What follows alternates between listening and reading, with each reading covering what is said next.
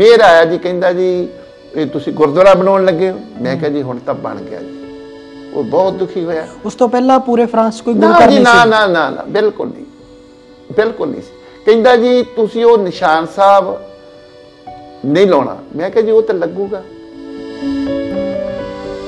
Teenager ਜਿਹੜੇ ਬੱਚੇ ਬੱਚੀਆਂ ਹੁੰਦੀਆਂ ਉਹ ਮਖੌਲ ਬਹੁਤ ਕਰਦੀਆਂ। ਸਾਨੂੰ ਸ਼ਰਾਰਤਾਂ ਕਰਦੇ ਨਿਆਣੇ ਕਰਦੇ। ਨੇ। ਉਹ ਮੈਨੂੰ ਕਹਿੰਦੇ ਵੀ ਤੂੰ ਮਹਾਰਾਜਾ ਵਾ। ਮੈਂ ਕਿਹਾ ਨਹੀਂ। ਕਹਿੰਦੇ ਤੂੰ ਫਕੀਰ ਆ। ਮੈਂ ਕਿਹਾ ਨਹੀਂ। ਕਹਿੰਦੇ ਤੂੰ ਮੁਸਲਮਾਨ ਵਾ। ਮੈਂ ਕਿਹਾ ਨਹੀਂ। ਕਹਿੰਦੇ ਵੀ ਤੂੰ ਉਹਨਾਂ ਨੇ ਫ੍ਰੈਂਚ ਕਿਹਾ ਵੀ ਕਿਹੜੀ ਬਲਾ ਵਾ? ਮੈਂ ਕਿਹਾ ਮੈਂ ਸਿੱਖ ਹਾਂ। ਉਹ ਕਹਿੰਦੇ ਉਹਦਾ ਸੋਚਿਆ ਵੀ ਸਿੱਖ ਆ। ਕਹਿੰਦੇ ਤੂੰ ਬਿਮਾਰ ਵਾ? ਮੈਂ ਕਿਹਾ ਨਹੀਂ ਮੈਂ ਸਿੱਖ ਹਾਂ। ਕਹਿੰਦੇ ਉਹ ਕੀ ਹੁੰਦਾ? ਉਹ ਡਰਦੇ ਸੀ ਕਿਸੇ ਚੀਜ਼ ਨੂੰ ਲੈ ਕੇ ਕਿ ਇਹ ਆਪਦਾ ਕਲਚਰ ਨਾ ਇੰਪਲੀਮੈਂਟ ਕਰ ਲੈਣ ਜਾਂ ਉਹ ਉਹਨਾਂ ਦੇ ਮਨ 'ਚ ਕੋਈ ਸੀਗਾ ਵਹਿਮ ਸੀ ਸਿੱਖਾਂ ਨੂੰ ਲੈ ਕੇ? ਉਹ ਕਹਿੰਦਾ ਵੀ ਸੰਤ ਜਰਨੈਲ ਸਿੰਘ ਭਿੰਡਰਾ ਵਾਲੇ ਤੂੰ ਜਾਣਦਾ ਮੈਂ ਕਿਹਾ ਜੀ ਨਹੀਂ। ਸੰਤਾਂ ਦੀ ਗੱਲ ਫਰਾਂਸ ਦੇ ਵਿੱਚ ਹੋ ਰਹੀ ਹੈ। ਬਿਲਕੁਲ ਜੀ, ਮੈਗਜ਼ੀਨ ਤੇ ਬਹੁਤ ਛਾਪ ਚੁੱਕੀ ਸੀ ਜੀ ਰਸਾਲਿਆਂ ਕਹਿੰਦਾ ਵੀ ਉਹਨੇ ਜੋ ਕੰਮ ਕੀਤਾ, ਉਹ ਸਹੀ ਕੀਤਾ। ਮੈਂ ਕਿਹਾ ਜੀ, ਕੀ? ਕਹਿੰਦਾ ਜਦੋਂ ਅਟੈਕ ਹੋਇਆ ਨੇ ਫੌਜ ਨਾਲ ਲੜਾਈ ਮੈਂ ਕਿਹਾ ਬਿਲਕੁਲ ਸਹੀ ਕੀਤਾ ਜੀ, ਧਾਰਮਿਕ ਸਥਾਨ ਨੂੰ ਬਚਾਉਣ ਲਈ ਹਰ ਸਿੱਖ ਲੜਾਈ ਕਰੂਗਾ। ਕਹਿੰਦਾ ਜੇ ਤੂੰ ਹੁੰਦਾ ਵੀ ਤੂੰ ਵੀ ਇਦਾਂ ਸ਼ਹੀਦ ਹੋ ਜਾਣੇ, ਮੈਂ ਕਿਹਾ ਬਿਲਕੁਲ ਜੀ। ਉਹ ਹੱਸ ਪਿਆ ਜੀ। ਫਰਾਂਸ ਦੇ ਵਿੱਚ ਹੀ first world war second world war ਸਾਡੇ ਸਿੱਖਾਂ ਦੀਆਂ ਇੰਨੀਆਂ ਕੁਰਬਾਨੀਆਂ ਜਿੰਨੀਆਂ ਵੀ ਬਾਰਡਰ ਆ ਬੈਲਜੀਅਮ ਹਾਲੈਂਡ ਜਰਮਨ ਇਟਲੀ ਦਾ ਬਾਰਡਰ ਆ ਜਿੰਦੀ ਸਿਮੈਂਟਰੀ ਆ ਮੇਰਾ ਮੈਂ ਐਗਜ਼ੈਕਟਲੀ ਤੇ ਚਲੋ ਦੱਸ ਨਹੀਂ ਸਕਦਾ 40 60 ਦੀ ਰੇਸ਼ੋ ਹੋ ਗਈ 40% ਉੱਤੇ ਸਿੱਖ ਨੇ। ਉੱਥੇ ਗੁਰਬਾਣੀ 'ਚ ਲਿਖਿਆ ਹੋਇਆ ਵੀ ਇਹ ਫਲਾਨਾ ਸ਼ਹੀਦ ਹੋਇਆ ਫਸਟ ਵਾਲਾ ਸੈਕੰਡ ਵਾਲਾ ਇੰਨੀ ਕੁਰਬਾਨੀ ਕੀਤੀ। 1799 ਦੇ ਵਿੱਚ ਇਨਕਲਾਬ ਆਇਆ ਫਰਾਂਸ 'ਚ। ਹੂੰ। ਉੱਥੇ ਲਿਖਿਆ ਕਿ ਜਿਹੜੀ ਜ਼ਗੀਰਦਾਰੀ ਖਤਮ ਕਰਕੇ ਵਾਹੀਕਾਰਾਂ ਨੂੰ ਜ਼ਮੀਨ ਦਿੱਤੀ ਜਾਂਦੀ। ਬੰਦਾ ਸਿੰਘ ਬਹਾਦਰ ਨੇ ਜੀ। 1710 ਵਿੱਚ ਕੀਤਾ ਜੀ। ਉਹ ਕਿਤੇ ਦੱਸਿਆ ਹੀ ਨਹੀਂ। ਕਿ ਬਾਅਦ ਦੋ ਸਾਲ ਮੈਨੂੰ ਬੱਸ ਇੱਕ ਟੁੱਟ ਖੜਕਦੀ ਜੀ ਬੱਸ ਲਿਆਉਣਾ ਬਹੁਤ ਤੰਗੀ ਹੋਣੀ ਮੂਰੇ ਪੈਲਟ ਗੱਡੀ ਲੱਗਣੀ।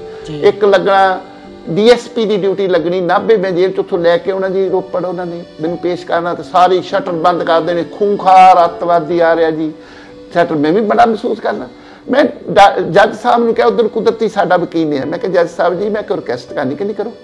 ਮੈਂ ਕਿਹਾ ਵੀ ਜੋ ਐਜ ਇਟ ਮੇਰੇ ਵਿਰੁੱਧ ਐਵੀਡੈਂਸ ਆ, ਉਹਨੂੰ ਮੰਨ ਲਓ ਅੱਜ। ਉਹਨੇ ਫਾਈਲ ਦੇਖੀ ਜੀ ਸਾਰੀ ਮੇਰੀ। ਕਹਿੰਦੀ, ਤੇਰੇ ਵਿਰੁੱਧ ਕੋਈ ਐਵੀਡੈਂਸ ਸੀ ਮੈਂ ਕਿਹਾ, ਜੱਜ ਸਾਹਿਬ, ਫਿਰ ਮੈਨੂੰ ਇਹ ਦੱਸੋ ਵੀ ਜੇਲ੍ਹ ਚ ਕਾ ਤੁਰ ਕੇ ਕਹਿੰਦਾ ਵੀ ਤੂੰ ਇਹ ਗੱਲ ਕਹਿ ਵੀ ਬਾਦਲ ਪਰਿਵਾਰ ਬਹੁਤ ਚੰਗਾ। ਮੈਂ ਕਿਹਾ ਜੀ ਚੰਗਾ ਵਾ। ਉਹਦੇ ਚਿਹਰੇ ਤੇ ਸਮਾਈਲ ਸੀ ਇੱਕ ਵੀ ਚੰਗਾ ਨਹੀਂ ਜਦੋਂ ਬੰਦਾ ਸਵਾਲ ਕਰਦਾ, ਮੈਨੂੰ ਕਹਿੰਦਾ ਵੀ ਇੱਥੇ ਪ੍ਰੈਸ ਕਾਨਫਰੰਸ ਸੱਦ ਲੈਂਦੇ ਮੈਂ ਲਫ਼ਜ਼ਾ ਵਰਤਿਆ ਜੀ, ਮੈਂ ਤੁਹਾਡੇ ਬਾਰੇ ਆਹੀ ਕਹਿਣਾ ਚਾਹੁੰਦਾ। ਮੈਂ ਕਿਹਾ ਮੈਂ ਕਿਸੇ ਪਰਿਵਾਰ ਦੇ ਹੱਕ 'ਚ ਬਿਆਨ ਨਹੀਂ ਚਾਹੁੰਦਾ ਜੋ ਤੁਸੀਂ ਕਰਨਾ ਕਰੋ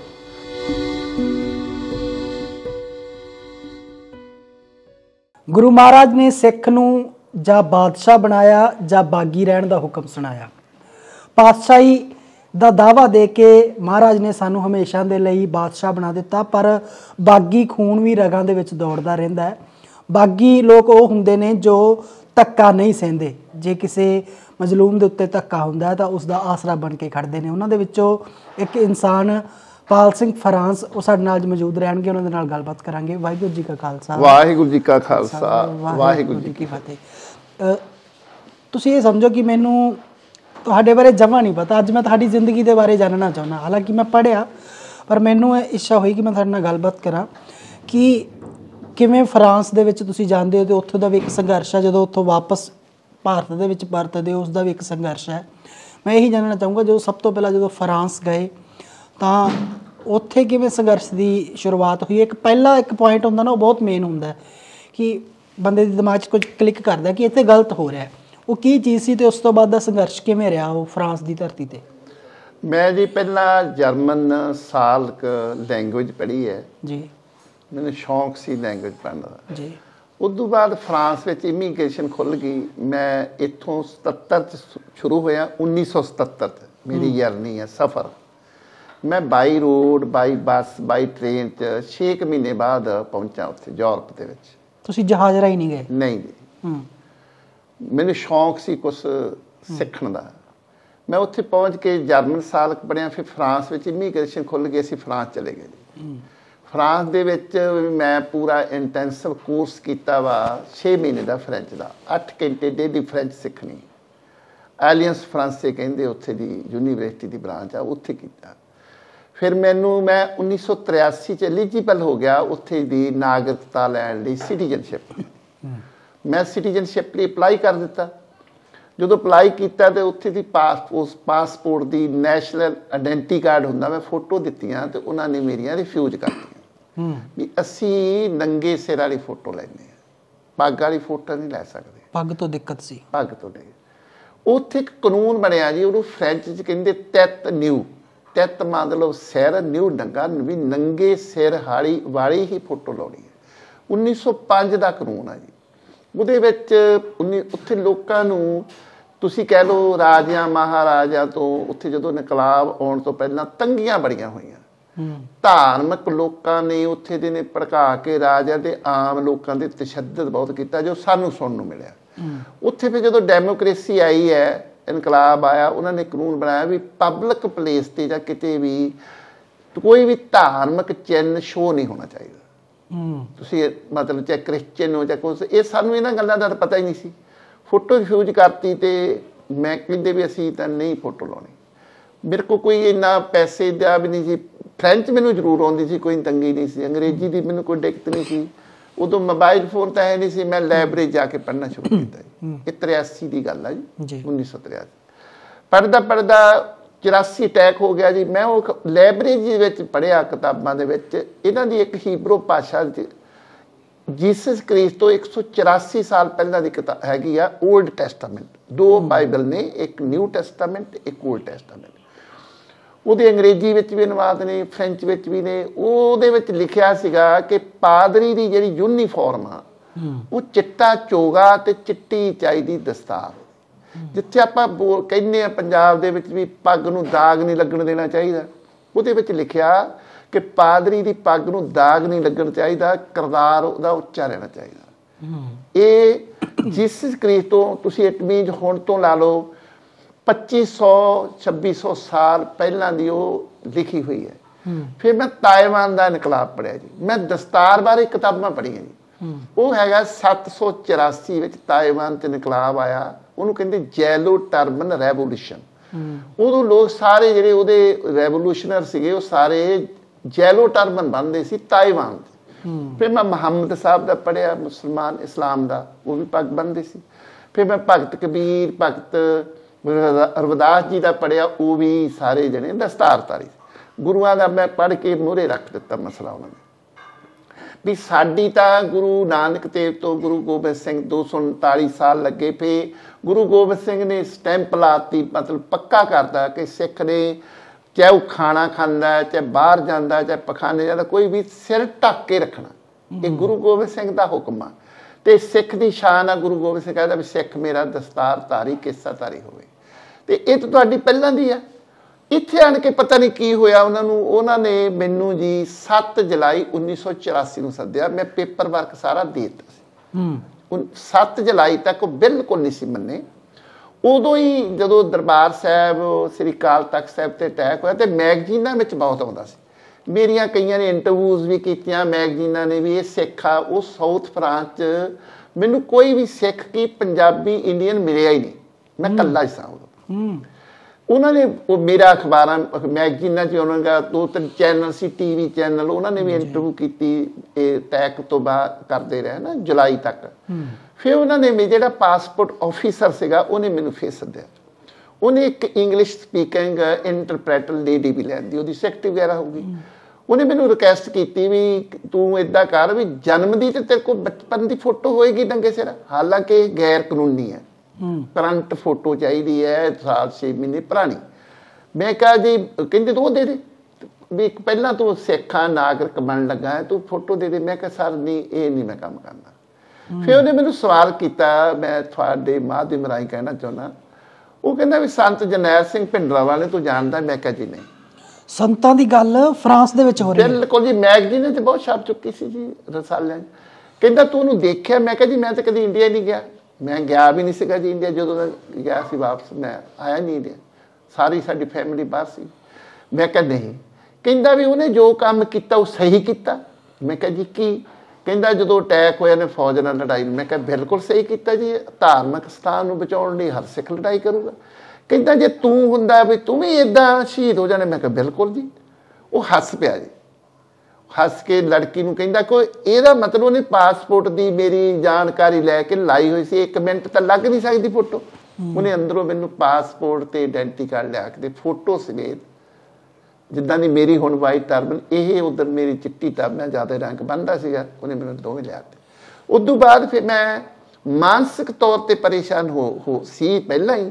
ਵੀ ਸਾਡੇ ਦਰਬਾਰ ਸਾਹਿਬ ਤੇ ਹਰਮੰਦਰ ਸਾਹਿਬ ਤੇ ਅਟੈਕ ਹੋ ਗਿਆ ਕਿ ਕਿਸ ਕਿਦਾ ਆਪਾਂ ਕੁਝ ਕਰਨਾ ਚਾਹੀਦਾ? ਘੱਟ ਤੋਂ ਘੱਟ ਪ੍ਰੋਟੈਸਟ ਕਰ ਸਕਦੇ ਮੈਂ ਸਾਊਥ ਫਰਾਂਸ ਮੇਰੀ ਬਹੁਤ ਵਧੀਆ ਕਾਰੋਬਾਰ ਸੀ ਸਾਰਾ ਛੱਡਤਾ ਜੀ। 600 ਕਿਲੋਮੀਟਰ ਪੈਰਸ ਤੋਂ ਮੈਂ ਪੈਰਸ ਚਲੇ ਗਿਆ ਉੱਥੇ ਮੈਨੂੰ ਥੋੜੇ ਜਿਹੇ ਬੰਦੇ ਮਿਲੇ ਸਾਡਾ ਬ੍ਰਦਰ ਵੀ ਉੱਥੇ ਸੀ। ਸਿੱਖ ਤੋਂ ਉਦੋਂ ਐਵੇਂ ਦਸਤਾਰ ਧਾਰੀ ਨਹੀਂ ਮੈਨੂੰ ਐਵੇਂ ਕਹੇ ਤੁਹਾਨੂੰ ਮਿਲਿਆ। ਮੈਂ ਹੌਲੀ ਹੌਲੀ ਇਹ 85 ਆ ਗਿਆ ਜੀ। ਜੀ। 85 ਦੇ ਸ਼ੁਰੂ ਚ ਮੈਂ ਇੱਕ ਪੇਪਰ ਕੱਢਿਆ ਜੀ ਆਪਾਂ ਨੂੰ ਗੁਰੂ ਘਰ ਬਣਾਉਣਾ ਚਾਹੀਦਾ ਹੈ ਕੁਝ ਕਰਨਾ ਚਾਹੀਦਾ। ਤੇ ਅਸੀਂ ਅਸੀਂ ਗੁਰੂ ਇੱਕ ਛੋਟਾ ਜਿਹਾ ਮਤਲਬ ਇੱਕ ਮੰਜੇ ਦੀ ਦੀ ਜਗ੍ਹਾ ਹੋ ਗਈ ਜੀ। ਬੈੱਡ ਤੋਂ ਵੱਡੀ ਜਗ੍ਹਾ ਨਹੀਂ ਸੀ। ਤੇ ਮੂਹਰੇ ਖੁੱਲਾ ਜਿਹਾ ਬਰਾਂਡਾ ਸੀ ਇੱਕ ਬੰਦੇ ਨੇ ਸਾਨੂੰ ਉਹਨਾਂ ਦਾ ਨਾਮ ਗੁਰਦਿਆਲ ਸਿੰਘ ਸੀ ਉਦੋਂ ਵੀ ਸਿਰ ਤੋਂ ਮੋਨੇ ਸਨ ਹੁਣ ਤੱਕ ਗੁਰਸਿੱਖ ਨੇ। ਉਹਨਾਂ ਨੇ ਕਿਹਾ ਵੀ ਇੱਥੇ ਤੁਸੀਂ ਜਗ੍ਹਾ ਲੈ ਲਓ ਵੀਕਐਂਡ। ਹੂੰ। ਬਾਕੀ ਉਹਦੇ ਦੋ ਤਿੰਨ ਕਮਰੇ ਸਨ ਉਦੋਂ ਘਰਾਂ ਦੀ ਵੀ ਤੰਗੀ ਸੀ। ਤੇ ਸਾਡੇ ਕੋਲ ਵੀ ਅਪਾਰਟਮੈਂਟ ਮੈਂ 1985 ਚ ਲਿਆ ਪੈਰਸ ਵਿੱਚ ਛੋਟੇ ਕਮਰੇ ਸਨ। ਅਸੀਂ ਉੱਥੇ ਮਹਾਰਾਜ ਸਰੂਪ ਵਿਸਾਖੀ 1985 ਨੂੰ ਲੈ ਆਂਦਾ ਇੰਗਲੈਂਡ ਤੋਂ। ਪਰ ਸਾਨੂੰ ਇੰਨੀ ਦਿੱਕਤ ਆਈ ਕੋਈ ਵੀ ਸਾਨੂੰ ਜਦੋਂ ਵੀ ਅਸੀਂ ਕਿਤੇ ਕਿਰਾਏ ਤੇ ਵੀ ਲੈਣਾ ਸਾਨੂੰ ਜਗ੍ਹਾ ਨਹੀਂ ਮਿਲਦੀ। ਕਾਨੂੰਨੀ ਤਰੀਕੇ ਤਾਂ ਨਹੀਂ ਕੋਈ ਦਿੱਕਤ ਆਈ? ਕਾਨੂੰਨ ਤਾਂ ਅਲਾਉ ਕਰ ਰਿਹਾ ਸੀ? ਕਾਨੂੰਨ ਦੀ ਦਿੱਕਤ ਸੀ ਜੀ। ਕਾਨੂੰਨ ਦਾ ਪਤਾ ਨਹੀਂ ਜਿਹੜਾ ਉੱਥੇ ਦਾ ਪ੍ਰਸ਼ਾਸਨ ਸੀ ਜਿਹੜਾ ਮੇਅਰ ਹੁੰਦਾ ਹੈ ਉਹਨੇ ਉੱਥੇ ਉਹਨੇ ਲੈਣ ਨਹੀਂ ਦੇਣੀ ਸਾਨੂੰ ਜਗ੍ਹਾ। ਕਿਰਾਏ ਤੇ ਨਾ ਮਿਲੇਗੀ ਅਸੀਂ ਉੱਥੇ ਥੋੜਾ ਚਿਰ ਫਿਰ ਸਾਨੂੰ ਕਿਸੇ ਨੇ ਜੋਗਾ ਕੋਈ ਲੇਡੀ ਕਰਾਉਂਦੀ ਸੀ ਗੋਰੀ ਸੀਗੀ ਉਹਨੇ ਸਾਨੂੰ ਦੇ ਦਿੱਤੀ ਜਗ੍ਹਾ ਵੀਕਐਂਡ ਉੱਤੇ ਫਿਰ ਅਸੀਂ ਕਿਰਾਏ ਤੇ ਜਗ੍ਹਾ ਲਈ। ਸਾਨੂੰ ਬਣਦਿਆਂ ਬਣਦਿਆਂ 1988 ਆ ਗਿਆ ਕੋਈ ਕਿਤੇ ਵੀ ਸਾਨੂੰ ਜਗ੍ਹਾ ਜਦੋਂ ਅਸੀਂ ਮੁੱਲ ਲੈਣੀ ਉਹਨਾਂ ਨੇ ਮੇਅਰ ਨੇ ਖਰੀਦ ਲੈਣੀ। ਕਿੰਨੇ ਸਿੱਖ ਸੀ ਉਸ ਸਮੇਂ ਤੁਸੀਂ ਜਦੋਂ ਸੰਘਰਸ਼ ਕਰ ਰਹੇ ਜਦੋਂ ਮੈਂ ਪੈਰਸ ਗਿਆ ਜੀ ਉਦੋਂ ਤੱਕ ਕੋਈ ਸਿੱਖੀ ਸਰੂਪ ਤੇ ਹੈ ਨਹੀਂ ਸੀ। ਜੀ। ਪੈਰਸ ਤੋਂ ਬਾਅਦ ਜਦੋਂ ਅਸੀਂ ਮਹਾਰਾਜ ਦਾ ਸਰੂਪ ਲਿਆਂਦਾ ਉਦੋਂ ਦੋ ਸਿੱਖ ਸਨ ਜਿਹੜੇ ਅੰਮ੍ਰਿਤਧਾਰੀ ਜਿਹੜੇ ਸਾਨੂੰ ਮਿਲੇ ਜਦੋਂ ਹੌਲੀ ਹੌਲੀ ਇਕੱਠੇ ਹੋਣ ਲੱਗੇ ਫਿਰ ਤਿੰਨ ਕੁ ਸੀਗੇ। 88 ਤੱਕ ਤੁਸੀਂ ਲਾ ਲਓ 15 ਕੁ ਸਿੱਖ ਹੋਣਗੇ 15 ਤੋਂ 20 ਹੋਣਗੇ ਜਿਹੜੇ ਅੰਮ੍ਰਿਤਧਾਰੀ ਗੁਰਸਿੱਖ ਸਿੰਘ ਕਿਸ ਤਰ੍ਹਾਂ ਫਿਰ ਅਸੀਂ ਤਿੰਨ ਚਾਰ ਜਣੇ ਰਲ ਕੇ ਮੈਂ ਆਪਣੇ ਨਾਂ ਹੀ ਲੋਨ ਲਿਆ ਜੀ। 10 ਲੱਖ ਫਰੈਂਕ ਲੋਨ ਲਿਆ 8 ਲੱਖ ਦਾ ਘਰ ਖਰੀਦਿਆ। ਉਹਦੇ ਵਿੱਚ ਅਸੀਂ ਜਿੱਦਾਂ ਆਪਾਂ ਕਹਿੰਦੇ ਲਿਵਿੰਗ ਰੂਮ ਬਣਾਉਣਾ ਵੱਡਾ ਉਹ ਅਸੀਂ ਐਕਸਟੈਂਸ਼ਨ ਲੈ ਲਈ ਪਰਮਿਸ਼ਨ ਜੀ। ਕੰਸਟਰਕਸ਼ਨ ਸ਼ੁਰੂ ਕਰਤੀ ਜੀ। ਜੀ। ਉਹਨਾਂ ਨੂੰ ਮੇਅਰ ਨੂੰ ਪਤਾ ਲੱਗ ਗਿਆ ਜੀ ਜੀ। ਵੀ ਇਹ ਗੁਰਦੁਆਰਾ ਬਣ ਲੱਗਾ। ਜੀ। ਹਾਲਾਂਕਿ ਉਹ ਤੁਸੀਂ ਗੈਰ ਕਾਨੂੰਨੀ ਕਹਿ ਲਓ ਜਾਂ ਕੁਝ ਕਹਿ ਲਓ ਮੈਂ ਮੈਂ ਉੱਥੇ ਸਮਝਿਆ ਕਾਨੂੰਨ ਸਮਝਿਆ ਵੀ ਆਪਣੇ ਮੈਂ ਘਰ ਦੇ ਵਿੱਚ ਕੋਈ ਵੀ ਇਹ ਕੰਮ ਫੰਕਸ਼ਨ ਕਰ ਸਕਦਾ। ਮੈਨੂੰ ਸਰਕਾਰ ਰੋਕ ਲਈ। ਮੇਰ ਆਇਆ ਜੀ ਕਹਿੰਦਾ ਜੀ ਇਹ ਤੁਸੀਂ ਗੁਰਦੁਆਰਾ ਬਣਾਉਣ ਲੱਗੇ ਹੋ? ਮੈਂ ਕਿਹਾ ਜੀ ਹੁਣ ਤਾਂ ਬਣ ਗਿਆ ਜੀ। ਉਹ ਬਹੁਤ ਦੁਖੀ ਹੋਇਆ। ਉਸ ਤੋਂ ਪਹਿਲਾਂ ਪੂਰੇ ਫਰਾਂਸ ਕੋਈ ਗੁਰੂ ਘਰ ਨਹੀਂ ਨਾ ਸੀ? ਨਾ ਨਾ ਨਾ ਬਿਲਕੁਲ ਨਹੀਂ। ਬਿਲਕੁਲ ਨਹੀਂ ਸੀ। ਕਹਿੰਦਾ ਜੀ ਤੁਸੀਂ ਉਹ ਨਿਸ਼ਾਨ ਸਾਹਿਬ ਨਹੀਂ ਲਾਉਣਾ। ਮੈਂ ਕਿਹਾ ਜੀ ਉਹ ਤਾਂ ਲੱਗੂਗਾ। ਕਹਿੰਦਾ ਜੀ ਉਹ ਬਾਹਰ ਨਹੀਂ ਲਾਉਣਾ ਮੈਂ ਕਿਹਾ ਜੀ ਹੁਣ ਤਾਂ ਬਾਹਰ ਹੀ ਲੱਗੂ। ਉਹ ਫਿਰ ਬਹੁਤ ਦੁਖੀ ਹੋਇਆ। ਮੇਰੇ ਤੇ ਪਰੇਸ਼ਾਨੀਆਂ ਵੀ ਹੋਈਆਂ। ਮੇਰੇ ਤੇ ਕੇਸ ਵੀ ਬਣਾਏ। ਜਿੱਦਾਂ ਸਰਕਾਰਾਂ ਕਰਦੀਆਂ ਦਾਬਾਂ ਪਾਉਂਦੀਆਂ। ਇਸ ਟਾਈਮ ਯੂਰਪ ਦਾ ਬਹੁਤ ਵਧੀਆ ਗੁਰਦੁਆਰਾ ਜੀ। ਪੈਰਸ ਦਾ ਤਾਂ ਹੈ ਹੀ ਹੈ। ਚਾਰ ਮੰਜ਼ਿਲਾ ਗੁਰਦੁਆਰਾ ਕਹਿੰਦਾ ਲਾਇਬ੍ਰੇਰੀ ਪਾਰਕਿੰਗ ਮੈਰਿਜ ਸਾਰਾ ਕੁਝ ਬਣਿਆ ਹੋਇਆ। ਤੇ ਉਦੋਂ ਪਹਿਲਾਂ ਬਹੁਤ ਤੰਗੀਆਂ ਹੋਈਆਂ। ਸਾਡੇ ਕੋਲ ਪੈਸਾ ਨਹੀਂ ਸੀ। ਵੱਡੀ ਸਮੱਸਿਆ ਪੈਸੇ ਦੀ ਸੀ। ਚੰਗੀਆਂ ਨੌਕਰੀਆਂ ਨਹੀਂ ਸੀ। ਜਿੰਨੇ ਸਾਡੇ ਦੋਸਤ ਮਿੱਤਰ ਸਨ ਰਿਸ਼ਤੇਦਾਰ ਸਨ ਸਾਰਿਆਂ ਤੋਂ ਇੱਕ ਇੱਕ ਮਹੀਨੇ ਦੀ ਪੱਕੀ ਤਨਖਾਹ ਲੈ ਕੇ ਪਲੱਸ ਜਿੰਨਾ ਉਹਨਾਂ ਕੋਲ ਪੈਸੇ ਸੀ ਕਾਊਂਟਾਂ 'ਚ ਉਹਨਾਂ ਨੂੰ ਕਿਹਾ ਸੀ ਤੁਹਾਡੇ ਵਾਪਸ ਕਰਾਂਗੇ ਦੋ- ਕੋ ਤੇ 4000 ਫਰੈਂਕ ਜਾਂ 5000 ਫਰੈਂਕ ਤੁਸੀਂ ਦਿਓ। ਉਹ ਗੁਰੂ ਨੇ ਕਿਰਪਾ ਕਰਤੀ। ਤੁਸੀਂ ਇੰਨੇ ਦੂਰ ਬੈਠੇ ਸੀ ਪਰ ਤੁਹਾਡੇ ਦਿਲ 'ਚ ਸੀਗਾ ਕਿ ਗੁਰੂ ਮਹਾਰਾਜ ਨੂੰ ਅਸੀਂ ਇੱਥੇ ਬਿਰਾਜਮਾਨ ਕਰੀਏ। ਦੇਖੋ ਜਿਹੜਾ। ਸਿੱਖ ਹੈ ਗੁਰੂ ਦਾ ਸਿੱਖ ਹੈ। ਉਸ ਥੋ- ਇਹ ਤਾਂ ਉਹਦੇ ਚਿੰਤਾ ਫਿਕਰ ਹੋਏਗਾ ਹਮੇਸ਼ਾ ਵੀ ਕਿ ਮੈਂ ਗੁਰੂ ਘਰ ਜਾਵਾਂ, ਜੇ ਨਾ ਹੋਏਗਾ ਉੱਥੇ ਗੁਰਦੁਆਰਾ ਫਿਰ ਉਹ ਅੰਦਰੋਂ ਸੋਚ ਵੀ ਬਣੇਗੀ ਜੀ ਵੀ ਮੈਂ ਗੁਰੂ ਘਰ ਇੱਥੇ ਬਣਾਵਾਂ। ਪਰ ਸਾ- ਸਾਨੂੰ ਤਾਂ ਇੰਨੀਆਂ ਕੁ ਪਰੇਸ਼ਾਨੀਆਂ, ਪੈਸੇ ਪੱਖੋਂ ਵੀ, ਕਾਨੂੰਨ ਪੱਖੋਂ ਵੀ ਅਸੀਂ ਦੱਸ ਨਹੀਂ ਸਕਦੇ ਜੀ। ਰਾਤ ਨੂੰ ਬੈਠੇ, ਮਤਲਬ ਕਿਆ ਸਾਡੇ ਨਾਲ ਬਣ ਜਾਊਗਾ, ਕੀ ਹੋ ਜਾਊਗਾ, ਕਿਸੇ ਨੇ ਸਾਡੀ ਬਾਹ ਨਹੀਂ ਫੜੀ। ਜਦੋਂ ਦਸਤਾਰ ਬਾਰੇ ਵੀ ਮਸਲਾ ਖੜਾ ਹੋਇਆ ਆ 2003 ਦੇ ਵਿੱਚ ਜਾਰੀ ਸਮੱਸਿਆ ਖੜ ਗਈ। ਜੀ। ਜਦੋਂ ਉੱਥੇ ਟਵਿਨ ਟੈਬ ਟੱਠੇ ਨੇ ਅਮਰੀਕਾ ਦੇ ਵਿੱਚ ਤੇ ਫਰਾਂਸ ਨੇ ਹੋਰ ਸਖਤੀ ਵਰਤ ਲਈ ਵੀ ਦਸਤਾਰ ਬਾਰੇ ਵੀ ਇਹਨਾਂ ਨੂੰ ਨਹੀਂ ਅਸੀਂ ਆਇਡੈਂਟੀ ਕਰ ਦੇਣਾ। ਤੇ ਮੈਂ 2004 ਦੇ ਵਿੱਚ ਸੰਗਤ ਦੇ ਸਹਿਯੋਗ ਨਾਲ ਮੈਂ ਪਹਿਲੀ ਦਫਾ ਆਇਆ ਜੀ ਇੰਡੀਆ ਜੀ ਉਹ ਡਰਦੇ ਸੀ ਕਿਸੇ ਚੀਜ਼ ਨੂੰ ਲੈ ਕੇ ਕਿ ਇਹ ਆਪਦਾ ਕਲਚਰ ਨਾ ਇੰਪਲੀਮੈਂਟ ਕਰ ਲੈਣ ਜਾਂ ਉਹ ਉਹਨਾਂ ਦੇ ਮਨ 'ਚ ਕੋਈ ਸੀਗਾ ਵਹਿਮ ਸੀ ਸਿੱਖਾਂ ਨੂੰ ਲੈ ਕੇ? ਮੇਰੇ ਮੇਰੇ ਮੈਂ ਜਿਹੜੀ ਮੇਰੀ ਸੋਚ ਆ ਜੀ। ਮੈਂ ਇਹ ਨਹੀਂ ਕਹਿੰਦਾ ਵੀ 100% ਹੋਵਾਂ। ਜੀ। ਉੱਥੇ 70 ਲੱਖ ਦੇ ਕਰੀਬ ਮੁਸਲਮਾਨ ਨੇ। ਹੂੰ। ਫਰਾਂਸ ਦੇ। ਉਹ ਅਲਜੀਰੀਅਨ ਨੇ ਮਰਾਕੋ ਨੇ ਹੋਰ ਨੇ। ਉਹ ਦਸਤਾਰ ਨਹੀਂ ਬੰਦੇ ਉਹ ਮਤਲਬ ਦੋ ਚਾਰ ਹੋਣਗੇ ਜਿਹੜੀ ਉਹ ਆਪਣੇ ਸਟਾਈਲ ਦੀ ਬੰਦੇ ਉਹ ਸਾਨੂੰ ਜ਼ਿਆਦਾ ਸਮਾਂ ਉਹਦੇ ਨਾਲ ਹੀ ਰਿਲੇਟਡ ਸਮਝਦੇ ਰਹੇ ਹੂੰ। ਵੀ ਦਸਤਾਰ ਮੈਂ ਉਹਨਾਂ ਨੂੰ ਕਿਹਾ ਵੀ ਕੋਈ ਇੱਕ ਬੰਦਾ ਦਿਖਾ ਦਿਓ ਵੀ ਦਸਤਾਰ ਵਾਲੇ ਨੇ ਕੋਈ ਕੁਕਰਮ ਏਡਾ ਕੀਤਾ ਹੋਵੇ ਨੇ ਕੇਸ ਕਰਾ ਕੇ ਲੁੱਕ ਗਿਆ। ਤਾਂ ਦੱਸੋ। ਨਹੀਂ ਤੇ ਸਾਨੂੰ ਉਹਨਾਂ ਨਾਲ ਸਾਡਾ ਨਾਲ ਸਾਡਾ ਉਹਨਾਂ ਨਾਲ ਸੰਬੰਧ ਨਾ ਜੋੜੋ। ਜਿਹੜਾ ਸਾਡਾ ਫੇਸ ਆ ਤੁਸੀਂ ਦੇਖ ਰਹੇ ਹੋ। ਸਾਡਾ ਉਹਨਾਂ ਨਾਲ ਕੋਈ ਇਸ ਤਰ੍ਹਾਂ ਲੈ ਹੋਰ ਵੀ ਸਾਨੂੰ ਤੰਗੀ ਹੋਈ ਹੈ ਮੈਂ ਇੱਕ ਵਾਰੀ ਜਾ ਰਿਹਾ ਸਾਂ।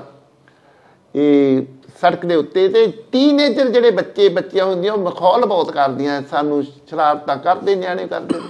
ਉਹ ਮੈਨੂੰ ਕਹਿੰਦੇ ਵੀ ਤੂੰ ਮਹਾਰਾਜਾ ਵਾ। ਮੈਂ ਕਹਿੰਦਾ ਨਹੀਂ। ਕਹਿੰਦੇ ਤੂੰ ਫਕੀਰ ਆ। ਮੈਂ ਕਹਿੰਦਾ ਨਹੀਂ। ਕਹਿੰਦੇ ਤੂੰ ਮੁਸਲਮਾਨ ਵਾ। ਮੈਂ ਕਿਹਾ, ਨਹੀਂ। ਕਹਿੰਦੇ ਵੀ ਤੂੰ ਉਹਨਾਂ ਨੇ ਫ੍ਰੈਂਚ ਕਿਹਾ ਵੀ ਕਿਹੜੀ ਬਲਾ ਵਾ? ਮੈਂ ਕਿਹਾ, ਮੈਂ ਸਿੱਖ ਹਾਂ। ਉਹ ਕਹਿੰਦੇ, ਉਹਦਾ ਸੋਚਿਆ ਵੀ ਸਿੱਖ ਆ। ਕਹਿੰਦੇ, ਤੂੰ ਬਿਮਾਰ ਵਾ? ਮੈਂ ਕਿਹਾ, ਨਹੀਂ, ਮੈਂ ਸਿੱਖ ਹਾਂ। ਕਹਿੰਦੇ, ਉਹ ਕੀ ਹੁੰਦਾ? ਫਿਰ ਮੈਂ ਉਹਨੂੰ ਆਪਣੇ ਤਰੀਕੇ ਨਾਲ ਦੱਸਿਆ ਵੀ ਸਿੱਖ ਆ ਹੁੰਦਾ ਹੈ ਐਦਾਂ ਕਰਦਾ ਹੈ ਨਾ ਆ ਇਹਦੀ ਗੁਰੂ ਪ੍ਰਮਾਤਮਾ ਨੂੰ ਮੰਨਦਾ ਹੈ, ਦਾੜੀ ਕੇਸ ਨਹੀਂ ਕਟਾਉਂਦਾ ਜੋ ਮੈਂ ਦੱਸ ਫਿਰ ਮੈਂ ਟੈਲੀਵਿਜ਼ਨ ਤੇ ਟਾਈਮ ਲਿਆ ਜੀ। ਉਦੋਂ ਟੈਲੀਵਿਜ਼ਨ ਸਾਲ ਆ ਤੇ ਮੀਡੀਆ ਹੈ ਨਹੀਂ ਸੀ ਸੋਸ਼ਲ ਟਾਈਮ ਲਾ ਕੇ ਮੈਂ ਪੰਜਾਂ ਕਕਾਰਾਂ ਦੀ ਵਿਆਖਿਆ ਦੱਸੀ, ਇਹ ਕੀ ਹੈ? ਅਸੀਂ ਕਿਉਂ ਪਾਉਨੇ ਨੇ? ਇਹਦੀ ਕੜੇ ਦੀ ਕੀ ਹੈਗੀ ਹੈ? ਕਿਰਪਾਨ ਦੀ ਕੀ ਹੈ? ਦਸਤਾਰ ਦੀ ਕੰਗੀ ਸਾਰਾ ਦੱਸਿਆ। ਬਹੁਤ ਖੁਸ਼ ਹੋਏ। ਪਬਲਿਕ ਨੂੰ ਪਤਾ ਲੱਗ ਗਿਆ। ਮੈਂ ਤੁਹਾਡੇ ਮਾਧਿਅਮ ਤੋਂ ਇੱਕ ਹੋਰ ਗੱਲ ਕਹਿਣੀ ਚਾਹੁੰਦਾ ਜਿਹੜੀ ਘਟਨਾ ਵਾਪਰੀ ਹੈ। ਜੀ। ਮੈਂ ਸਵਿਟਜ਼ਰਲੈਂਡ ਤੋਂ ਫਰਾਂਸ ਐਂਟਰ ਹੋ ਰਿਹਾ ਸਾਂ। ਜੀ। ਇਹ ਸਟੇਸ਼ਨ ਦੇ ਉੱਤੇ ਮੈਂ ਜਾ ਰਿਹਾ ਸਾਂ। ਅੱਧਾ ਘੰਟਾ ਸੀ ਮੈਨੂੰ ਪੈਰਿਸ ਦੀ ਟ੍ਰੇਨ ਫੜਨ ਦਾ। ਜੀ। ਸਵਿਟਜ਼ਰਲੈਂਡ ਤੋਂ ਬਾਸਲ ਸ਼ਹਿਰ। ਜਿਹੜੇ ਤਿੰਨ ਉੱਥੇ ਭਾਸ਼ਾਵਾਂ ਚੱਲਦੀਆਂ ਨੇ ਬਾਸਲ ਜਰਮਨ ਭਾਸ਼ਾ ਫ੍ਰੈਂਚ ਤੇ ਇਟਾਲੀਅਨ। ਤਿੰਨਾਂ ਮੁਲਕਾਂ ਦਾ ਇੱਕ ਕੇਂਦਰ ਆ। ਜੀ। ਉਹ ਮੈਨੂੰ ਇੱਕ ਮੁੰਡਾ ਮਿਲਿਆ ਮੈਨੂੰ ਕਹਿੰਦਾ ਤੁਸੀਂ ਇੱਥੇ ਆਓਗੇ ਸਾਡੇ ਪੱਬ 'ਚ? ਮੈਂ ਕਿਹਾ ਕੀ ਗੱਲ? ਕਹਿੰਦੇ ਵੀਰ ਮੈਂ ਕਿਹਾ ਨਹੀਂ ਮੈਂ ਪੀਂਦਾ ਨਹੀਂ। ਕਹਿੰਦੇ ਉਦਾਂ ਮੈਂ ਕਿਹਾ ਉੱਥੇ ਧੂਆਂ ਬਹੁਤ ਹੋਣਾ ਤੁਹਾਡੇ ਉੱਥੇ ਕਲੱਬਾਂ 'ਚ ਹੁੰਦਾ। ਮੈਂ ਕਿਹਾ ਨਹੀਂ ਮੈਂ ਕਹਿੰਦੇ ਤੁਸੀਂ 2 ਮਿੰਟ ਰੁਕੋਗੇ? ਮੈਂ ਕਿਹਾ ਹਾਂ। ਉਹ ਬਹੁਤ ਮੁੰਡੇ ਕੁੜੀਆਂ ਲੈ ਕੇ ਆ ਗਏ ਲੜਕੇ ਲੜਕੀਆਂ ਜੰਗ ਜਿਹੜੇ 22 24 ਸਾਲ ਆ। ਇੱਕ ਲੜਕੀ ਪੁੱਛਦੀ ਵੀ ਮੈਨੂੰ ਔਖੀ ਜਿਹੀ ਅੰਗਰੇਜ਼ੀ ਬੋਲ ਕੇ ਆਜੂ ਰੀਅਲ ਸਿੱਖ। ਮੈਂ ਕਿਹਾ ਵੀ ਤੇਰਾ ਕੀ ਮਤਲਬ ਰੀਅਲ ਸਿੱਖ ਤੋਂ? ਫਿਰ ਮੈਂ ਉਹਨੂੰ ਕਿਹਾ ਤੂੰ ਔਖੀ ਨਾ ਹੋ ਅੰਗਰੇਜ਼ੀ ਬੋਲਣ ਦੀ ਤੂੰ ਫ੍ਰੈਂਚ 'ਚ ਗੱਲ ਕਰ। ਉਹ ਬੜੀ ਖੁਸ਼ ਹੋਈ ਵੀ ਮੈਨੂੰ ਫ੍ਰੈਂਚ ਮੈਂ ਸਮਝਦਾ।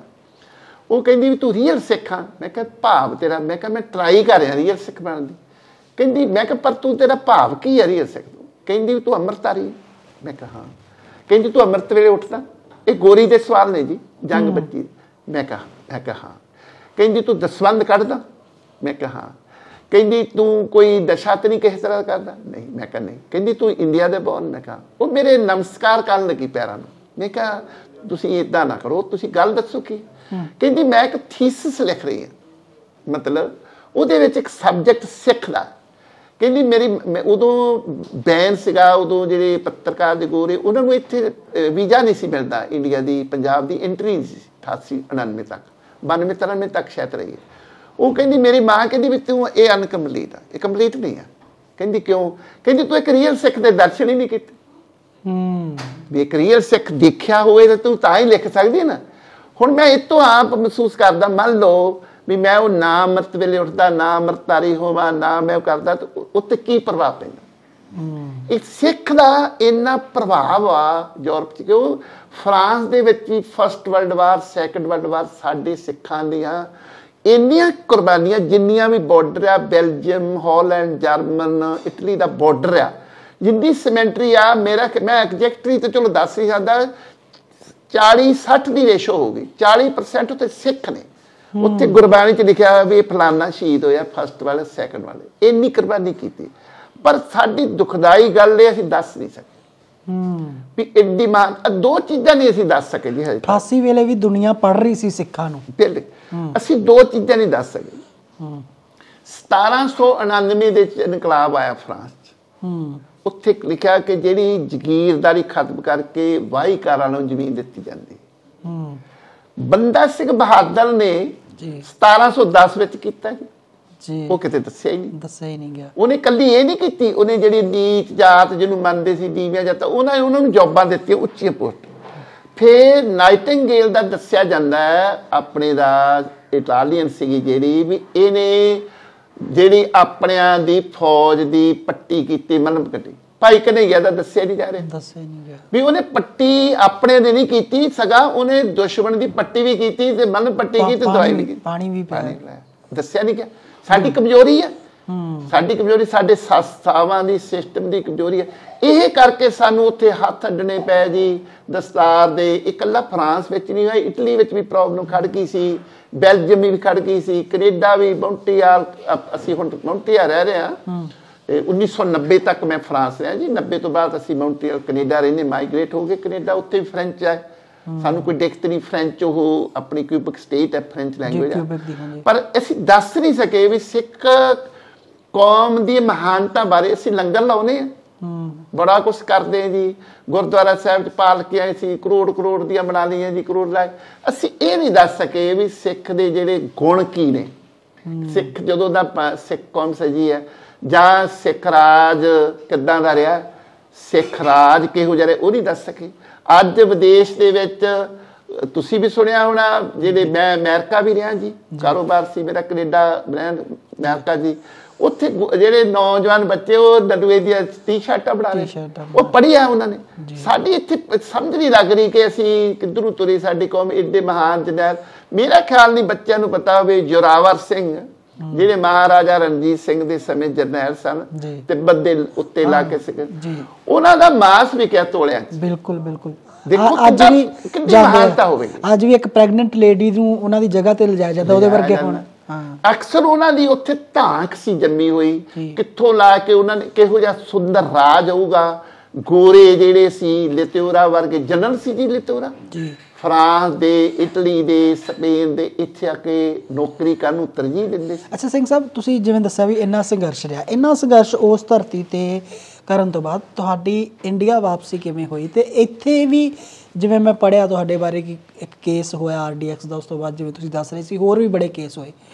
ਉੱਥੋਂ ਇੰਡੀਆ ਵਾਪਸੀ ਤੇ ਇੱਥੇ ਕੇਸ ਕਿਸ ਬੇਸ ਤੇ ਪੈ ਗਏ ਤੁਹਾਡੇ? ਮੈਂ ਜੀ ਪਹਿਲੀ ਦਫਾ 13 ਅਗ- ਅ, 12 ਅਗਸਤ ਨੂੰ 13 ਅਗਸਤ ਨੂੰ ਮੇਰੀ ਅਪਾਇੰਟਮੈਂਟ ਸੀ ਲਿਖਤੀ।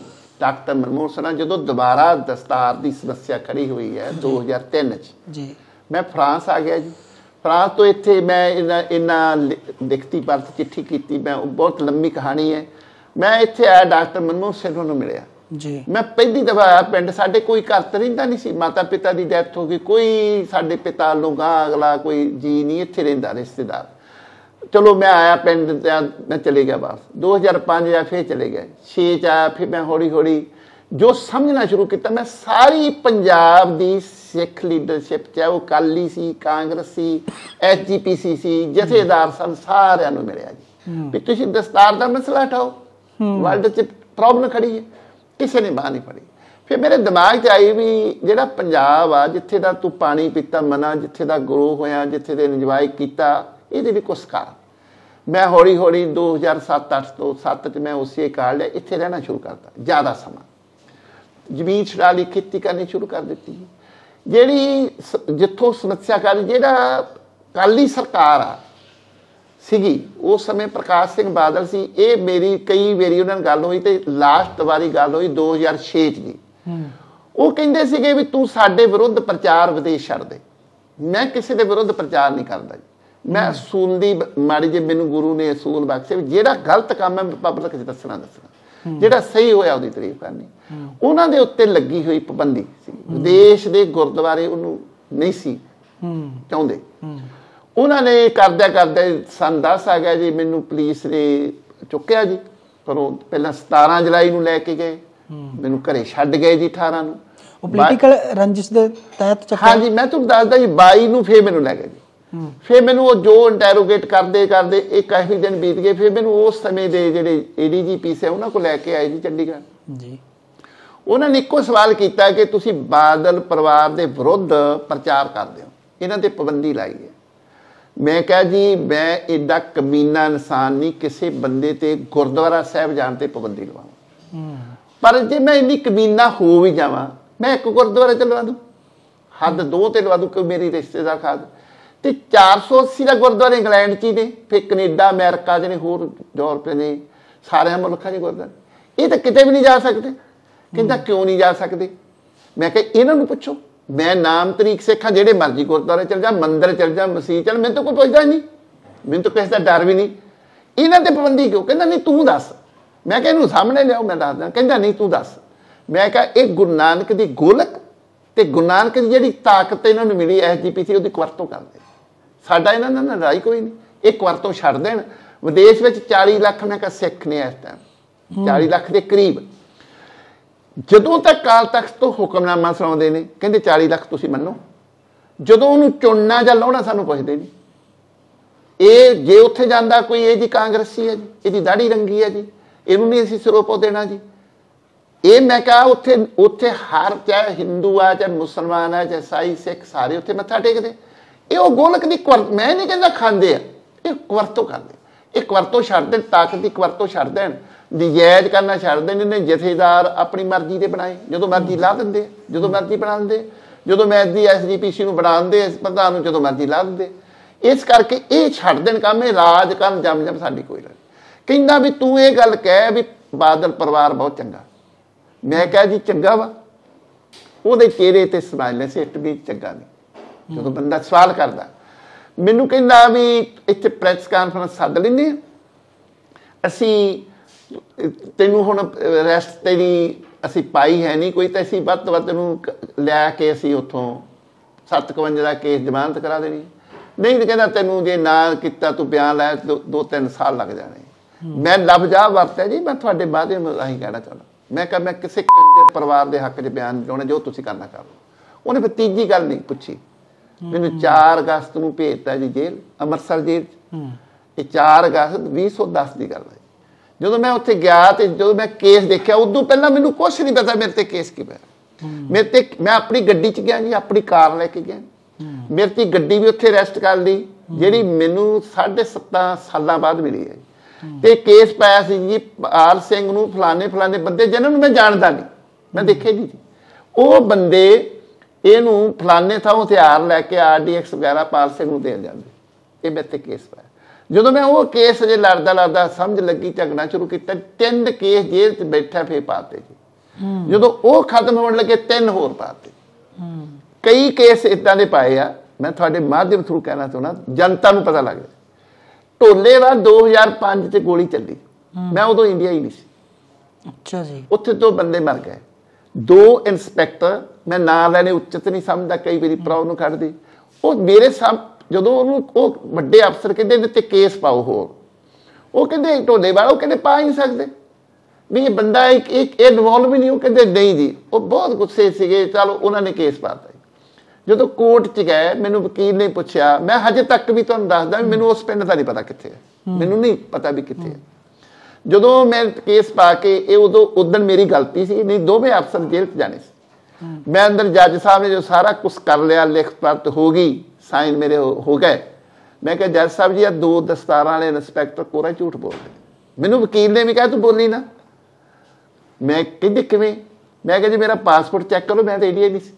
ਵੀ ਉਹ ਕਿਹੜਾ ਤਰੀਕਾ ਮੈਂ ਹਵਾ ਚ ਆ ਕੇ ਉਹਨਾਂ ਨੇ ਦਵਾ ਦਾ ਪੁਲਿਸ ਨੇ ਕੇਸ ਵਾਪਸ ਲੈ ਲਿਆ ਕੇਸ ਵਾਪਸ ਇੱਕ ਮੇਰੇ ਤੇ ਰੋਪੜ ਕੇਸ ਪਾਇਆ ਜੀ। ਤੁਸੀਂ ਹੈਰਾਨ ਰਹਿ ਜਾਓਗੇ ਵਕੀਲ ਸਾਹਿਬ ਕਹਿੰਦੇ ਤੁਸੀਂ ਬੋਲਣਾ ਨਹੀਂ ਉਹਨੂੰ ਪਤਾ ਹੀ ਥੋੜੀ ਗੱਲ ਕਰੂਗਾ।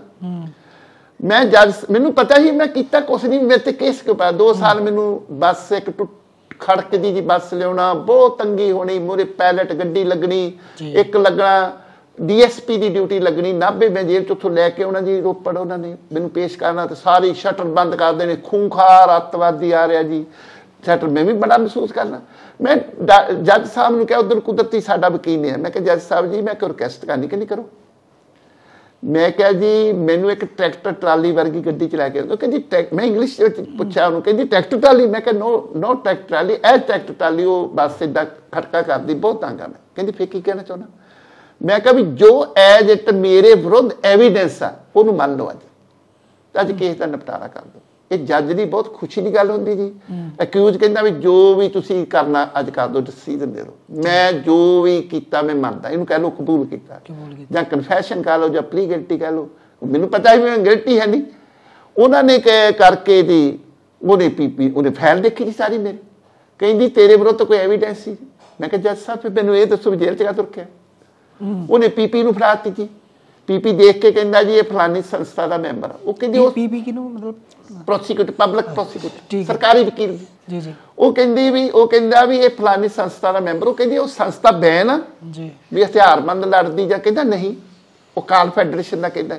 ਉਹ ਕਹਿੰਦਾ ਉਹਦੇ ਬੰਦੇ ਨੇ ਕਿਹਾ ਵੀ ਮੇਰਾ ਮੈਂਬਰ ਉਹ ਕਹਿੰਦੀ ਉਹ ਕੋਈ ਬੈਨ ਆ ਕੋਈ ਨਹੀਂ ਕਹਿੰਦਾ ਨਹੀਂ ਕਹਿੰਦੀ ਫੇਰ ਕਿਹਾ ਮੈਨੂੰ ਕਹਿੰਦੀ ਜੀ ਤੁਹਾਨੂੰ ਅਗਲੀ ਤਰੀਕ ਤੇ ਦੱਸੋ ਮੈਂ ਕਿਹਾ ਜੱਜ ਸਾਹਿਬ ਅਗਲੀ ਤਰੀਕ ਤੋਂ ਕਿਉਂ ਮੈਂ ਆਉਣਾ ਜਦੋਂ ਮੇਰੇ ਵਿਰੁੱਧ ਕੋਈ ਕੇਸ ਹੀ ਨਹੀਂ ਕੇਸ ਹੀ ਨਹੀਂ ਕੋਈ ਐਵੀਡੈਂਸ ਹੀ ਨਹੀਂ ਜਾਂ ਮੇਰੇ ਕੋਲ ਕਵਰੀ ਨਹੀਂ ਕੋਈ ਹਥਿਆਰ ਨਹੀਂ ਫੜਾ ਕੋਈ ਕਾਹ ਤੋਂ ਲਿਆਉਣਾ ਮੈਨੂੰ ਸਕਦਾ ਉਹ ਸੋਚੀ ਪੈ ਗਈ ਮੈਂ ਕਿਹਾ ਜੱਜ ਸਾਹਿਬ ਮੈਂ ਹੁਣ ਕੋਰਟ 'ਚ ਨਹੀਂ ਆਉਣਾ ਕਹਿੰਦੇ ਕਿਉਂ ਮੈਂ ਕਿਹਾ ਜਦੋਂ ਮੇਰੇ ਵਿਰੁੱਧ ਕੇਸ ਹੀ ਨਹੀਂ ਮੈਂ ਕਿਉਂ ਆਵਾਂ ਮੈਂ ਕਿਹਾ ਪਲੀਜ਼ ਮੈਨੂੰ ਆਹ ਲਫ਼ਜ਼ ਵਾਸਤੇ ਕੋਈ ਕੱਟ ਵੱਡ ਕਰਕੇ ਡੱਬੇ 'ਚ ਪਾ ਲੈ ਪਰ ਮੈਂ ਨਹੀਂ ਜੱਜ ਸਾਹਿਬ ਹੋਣਾ ਮੈਂ ਬਹੁਤ ਪਰੇਸ਼ਾਨ ਹਾਂ ਕਹਿੰਦੀ ਤੂੰ ਮੇਰੀ ਗੱਲ ਸੁਣ ਲੂਗਾ ਵੀਡੀਓ ਕਾਨਫਰੰਸ ਮੈਂ ਕਿਹਾ ਹਾਂ ਉਹਨੇ ਤੀਸਰੇ ਦਿਨ ਵੀਡੀਓ ਕਾਨਫਰੰਸ ਕਿਹਾ ਵੀ ਤੇਰਾ ਕੇਸ ਖਤਮ ਹੋ ਗਿਆ ਡਿਸਚਾਰਜ ਨਹੀਂ ਹਜੇ ਪਤਾ ਨਹੀਂ ਸਾਲ 2 ਸਾਲ ਮੈਂ ਹੋਰ ਰਹਿਣਾ ਸੀ।